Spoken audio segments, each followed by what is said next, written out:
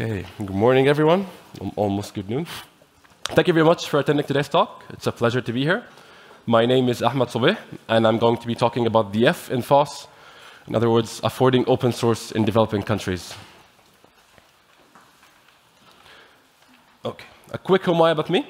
Uh, my name is Ahmed Sobeh, as I just mentioned. I am an engineering manager at Aiven's open source program office working on several open source projects. I have worked with and led diverse teams throughout my career, which started back in the country where I was born and raised, Egypt, a country that tries and has been trying to be developing for quite some time. And we will delve a little bit today into what that actually means. And below you can find some links to my social stuff. So, a quick background about today's uh, topic.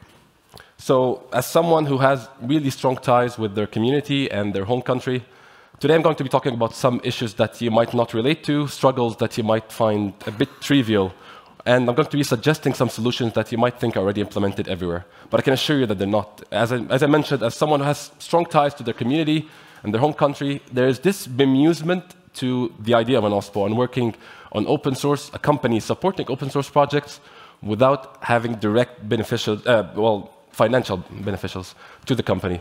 Whenever I talk with people with the, from the tech industry or any other industry, basically, in my country, there's this bemusement usually, and I understand that, and I can relate to it because it was the situation I was in at some point, not understanding the point of open source, the point of doing a company working on stuff that's for other people, not for the company's benefit.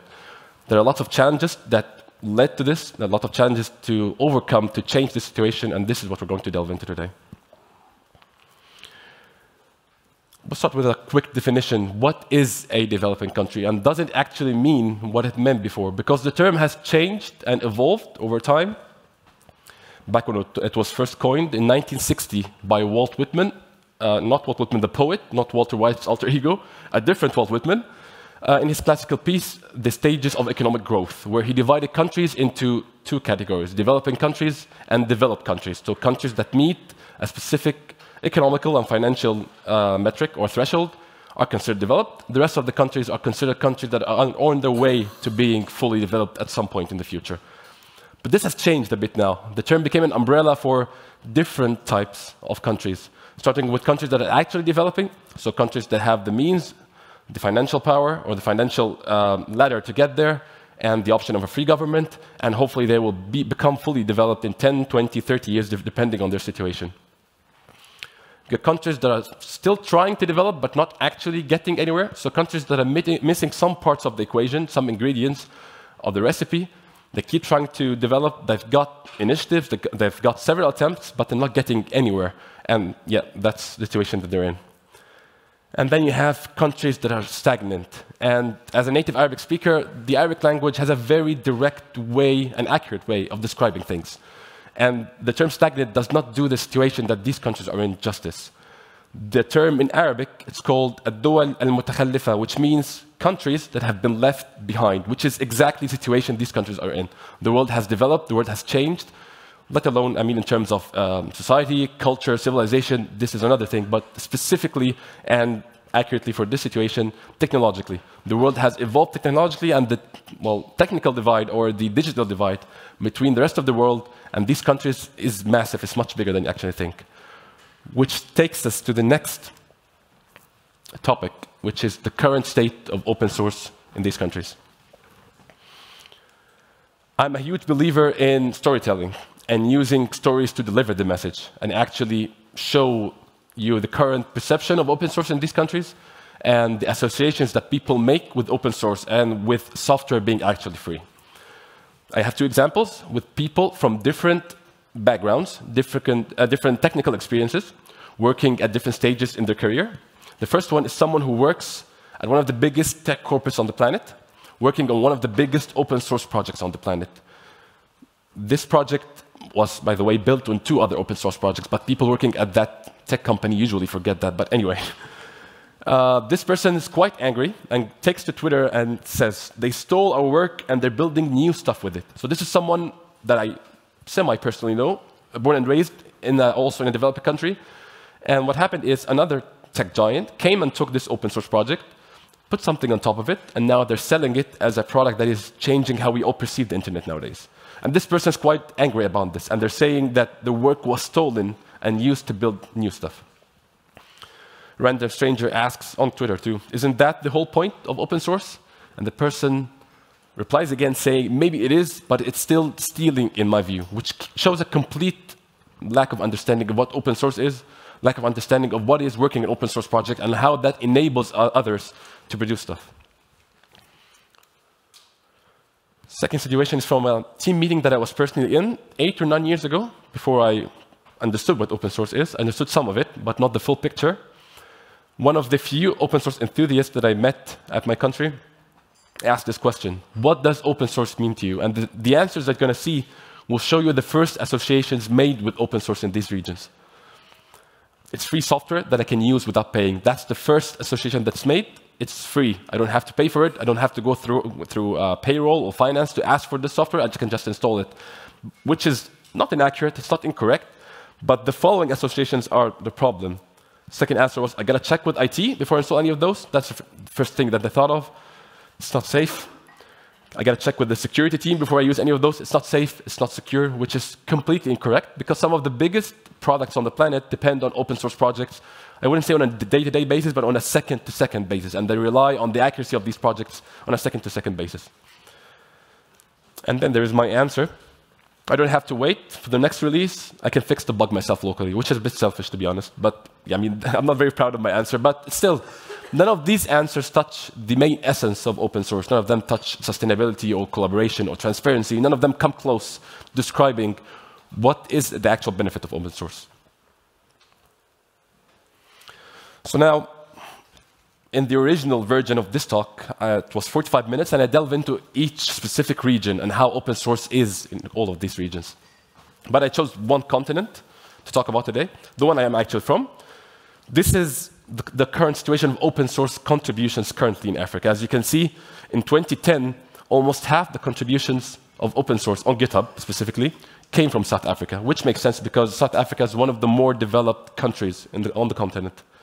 But this was challenged by growth of open source contributions from Kenya, from Nigeria, and also from Egypt, reaching in 2020 that uh, uh, Kenya is leading the way with South Africa in second place when it comes to contributions, Nigeria third place, and Egypt in fourth place. So you might be wondering, what's wrong with this picture? This looks good. Um, contributions are diverse, diversifying. Other countries are, ch are chipping in. But this is what's wrong with this picture. So this is the percentage of open source contribution, contributions when compared to the entire globe. Less than 0.5% of open source contributions on GitHub came from Africa in 2010, which rose to less than 2.5% in 2020 which is very disappointing when you think of the demographics of the continent. Uh, more than 20% of the world's population lives in Africa, and the amount of immense skills and talent that exist in the continent, these numbers are very disappointing when you think of that. So you might be thinking, why should we care about any of this? Open source is struggling as it is. We have problems as it is. Why should we care about this? And there's, there are a lot of benefits, either for the open source global community or for us as people living or born and raised in developing countries. And going into the benefits of open source would be a bit trivial because I'm pretty sure everyone who's at this conference already knows the benefits of open source. But there's two specific points that I'd like to stress on. One of them when it comes to the people and the communities living in these countries, and one of them for the global open source community. The first point is solving local issues open source would help solve so many local issues that only the people living in these regions, only the people struggling with these issues, issues on a daily basis in the tech industry or in other industries, they can only, they are the only people who are be able to solve it, implement solutions for it, and benefit from solving it. But for the global open source community, there is the benefit of, the, as I mentioned uh, a few seconds ago, the immense amount of skills and talent that exists in these regions. And this is not something that the developing world is unaware of. They already know that. Everyone already knows that. Because if you look at the top 10 countries to outsource software development to, in 2021, out of the 10 countries, only three of them that you consider either late developing or developed. The rest are all developing countries or underdeveloped countries. So you already know that. You already use these people to outsource software development to because they take less wages. Basically, when you think of it, when it comes to corporate life, you want to pay less for the same work. So they can do the same work. They can do it, do it even better in some cases. So you already know that. Changing open source, or changing the open source culture, or changing how people perceive open source, would go through several challenges and lots of different types of challenges. I'm going to divide these challenges into three pillars, uh, which I would say are the main struggles and main challenges because there are still the basic foundations of issues that every human faces on the planet to convince people with open source. This exists everywhere, developing or non-developing. But these issues are the biggest ones that come that, well, that people in these regions face. First is society and culture. Second is resources and infrastructure and economy in general. And the last is the issue of governance. Starting with the issue of society and culture.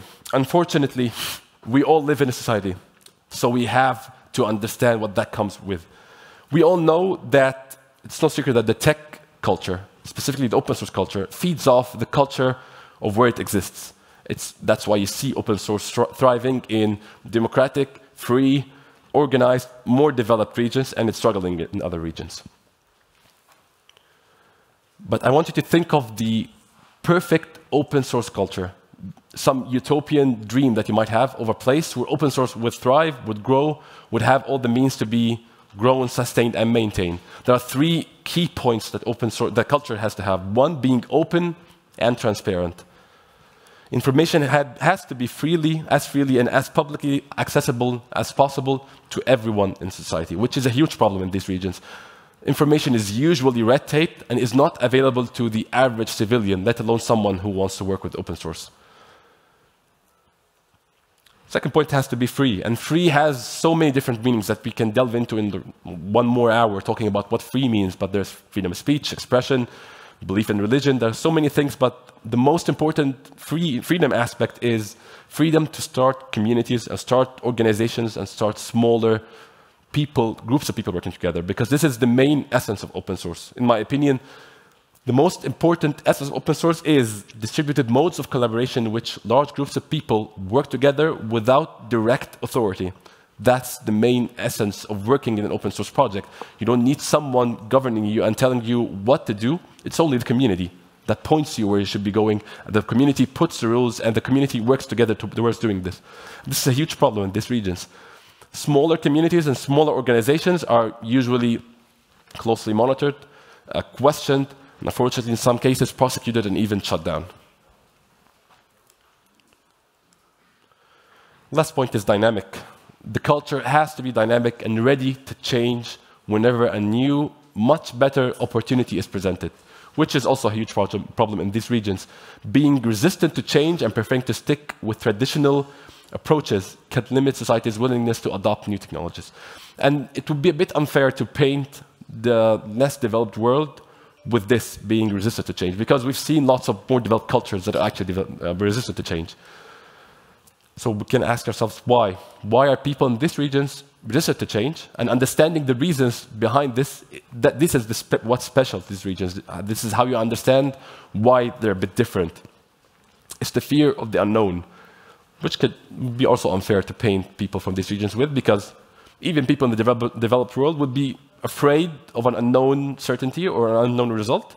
But it's their reasons behind this, which are competence and accountability. That's what's special to these regions. If you imagine a situation where you have someone who owns a store, and they do all their ins and outs and their sales by pen and paper, and you go to them and you suggest they adopt a database solution, open source or non-open source at this point, it's very highly likely that they're going to refuse because they don't trust the technical competence that's available to them. They're not sure this is going to be working as good as pen and paper works. Yes, pen and paper makes them lose time, makes them lose sometimes some information, but still, they've tried it, they rely on it, and they're sure that it's competent. They're not sure of the technical competence that, that's available to them.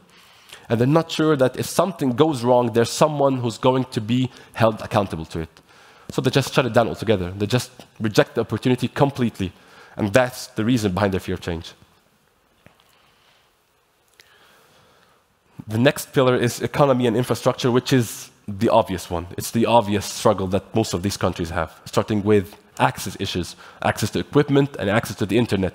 The digital divide in these countries is much, much worse than you can imagine. Lots of people live without stable internet, and I'm talking not talking about normal people working in other industries. No, you've got people who are studying computer science students who do not have access to the internet and have uh, well stable internet. And I've seen in my in my uh, studies, I've seen people who could not contribute to university projects only on the weekend they could, they could actually do that because throughout the week they don't have access to stable internet. They go somewhere on the weekend where they have access, they can contribute.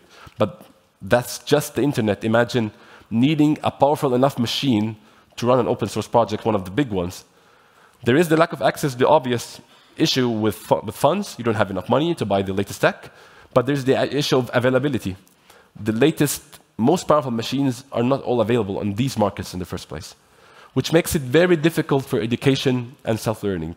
If I decided to take on some open source project, understand how it works, and self-learn, basically, I don't need someone to teach me.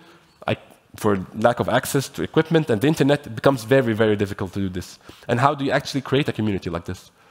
You have people, the more privileged, uh, privileged ones, like myself, I had internet, I had good enough tech, I could contribute to start an open source project. I can actually do that. But at the end, you'll find the project relying on me and someone else like me, and the rest of the people are just contributing whenever it's possible, which is not really an optimal open source project um, culture or, or situation. Funding, on the same note, projects, as I just said, would depend, would depend on individuals. Individuals would prioritize paid, paid work. The individuals that I just mentioned that contribute whenever there's a chance to do that. Once, and I've seen this personally, once the opportunity of paid work arises, even if it's a second job, they'll just drop completely contributing to open source projects. Because I've seen people who contribute to open source projects and try to understand them, to improve their skills, learn a new stack, or just improve their experience in general. But once the opportunity of paid work arises, they just drop it. And that makes sense. I, can, I need more money to support my family. I'll just focus on what brings me money. I wouldn't be too worried about sustaining an open source project. And lack of funds would make it very difficult to start marketing campaigns, community building events, or even fund documentation, which is essential specifically in these regions because of the next issue, of course, you can't attract or maintain volunteers.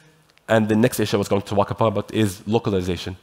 It becomes very difficult to start your open source journey when the project is, and I know this is surprising for lots of people, is in English.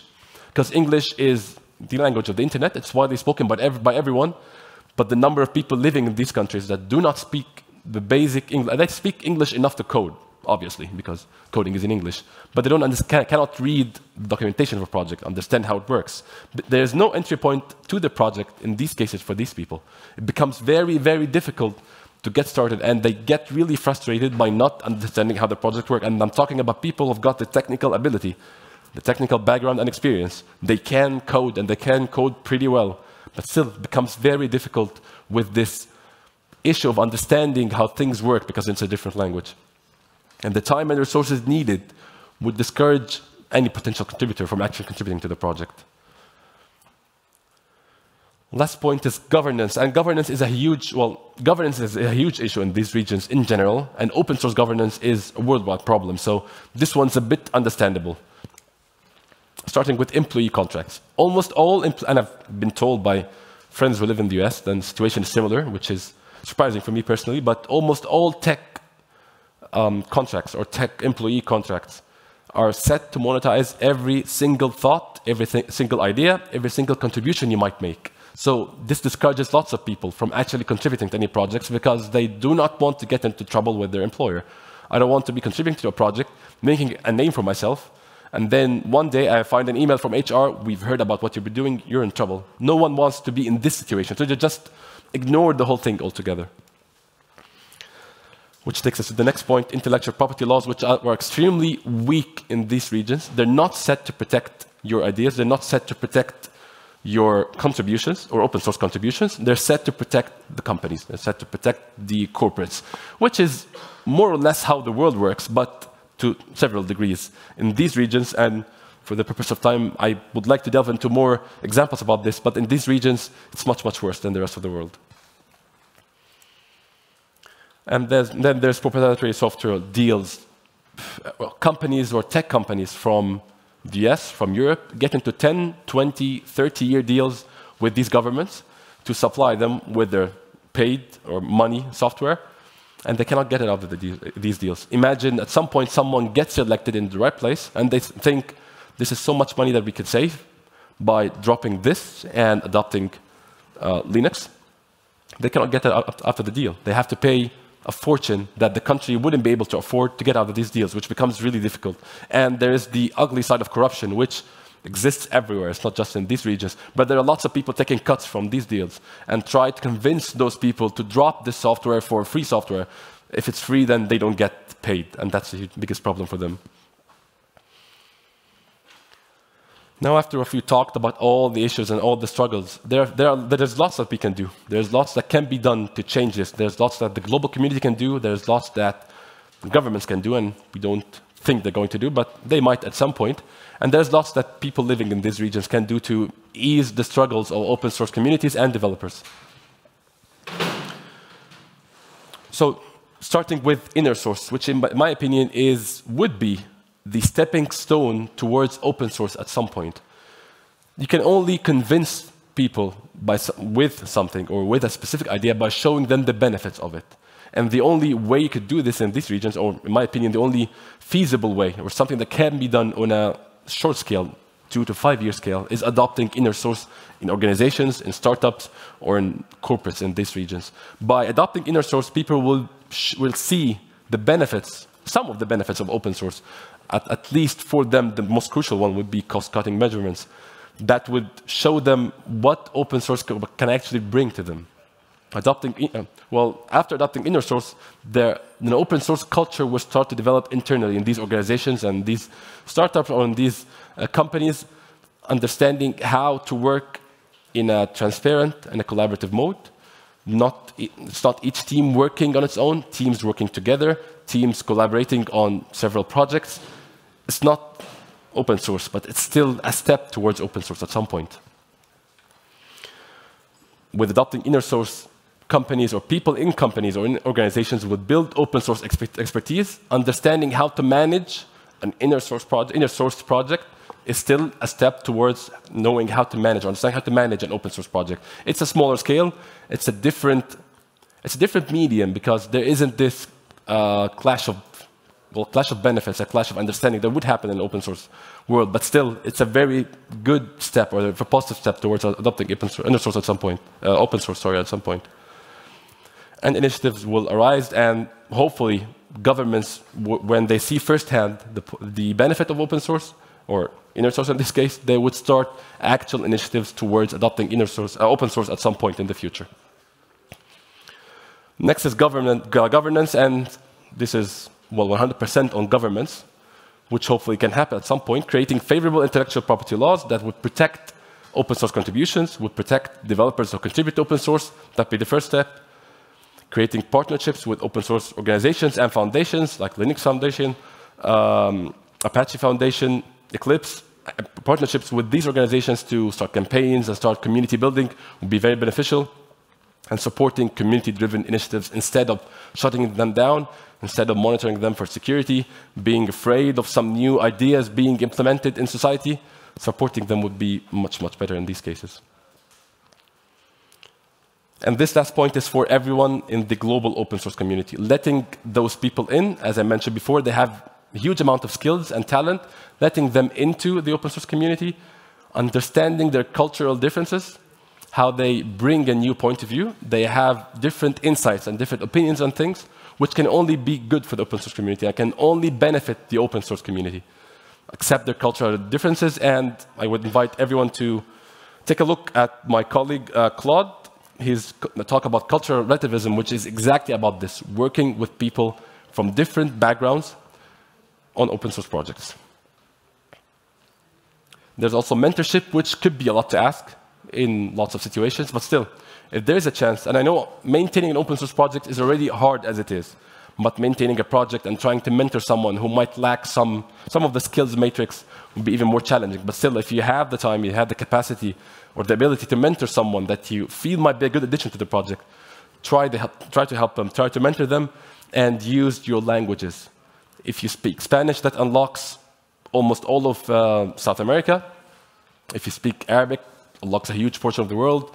Uh, there, there's so many languages, I don't want to talk about language specifically, but if you speak any other language than English, always try to help people and ease their experience and make their journey towards being an open source developer much easier.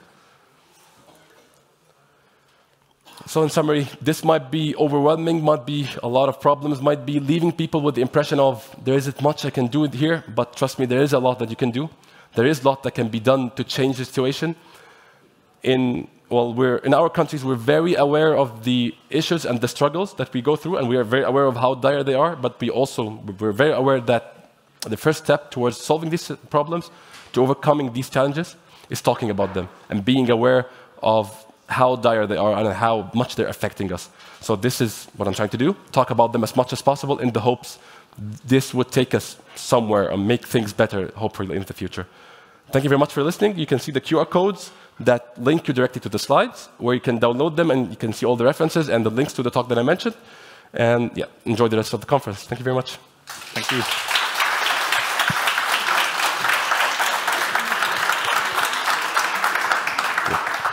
Thank you, Ahmed. Really nice insights uh, you provided us here. So there is some time for maybe one question, yeah, and we have one.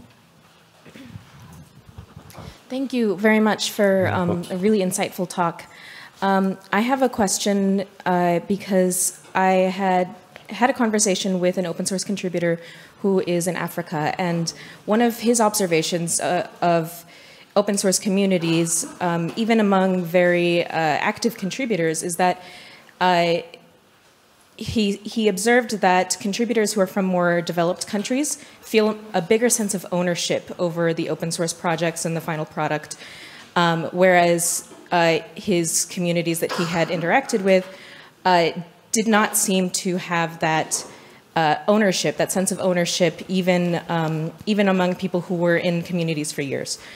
Uh, is that, would you say that that's a cultural difference? Is that something uh, that maybe not as the, the, open source projects weren't as inclusive as they should have been, or a mix of things. Um, from your perspective, what would you say that that is it even a problem, or is it just a cultural difference? Well, thank you for your question. From my perspective, it's a, as you mentioned, a mix of different things. Inclusivity is would be inclusiveness would be the first thing that I would think of. Uh, be, people being on the fringes of some project is definitely a problem.